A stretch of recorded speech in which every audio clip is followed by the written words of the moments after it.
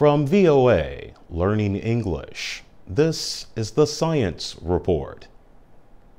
Scientists say a large percentage of bird species is in danger because bird habitats or homelands are disappearing. Traditional migration paths take birds through many countries. Some are not protecting the places where the birds stop, rest, and feed.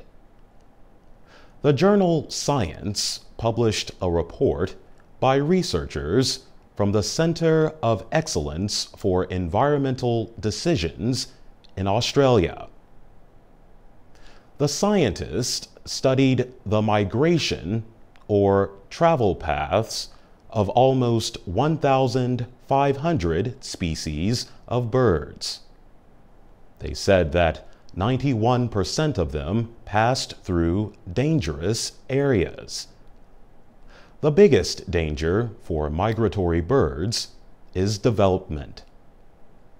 Building and paving now covers some of the natural areas where birds stop and feed as they move from one part of the world to another. Researchers say many of the small birds die along their migration route. There is no place for them to get energy for the next part of their journey. Countries in North Africa, Central Asia, and those along the coast of East Asia are having the most difficult time conserving land. The scientists say these countries do not have enough areas that are safe for birds. They say countries need to work together. They need to come up with safe stopover areas for birds that pass through their boundaries.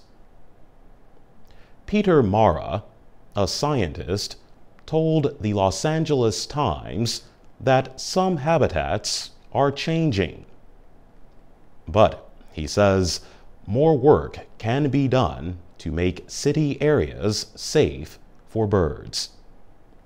He says small changes, like growing more native plants, could make a big difference. For VOA Learning English, I'm Jonathan Evans.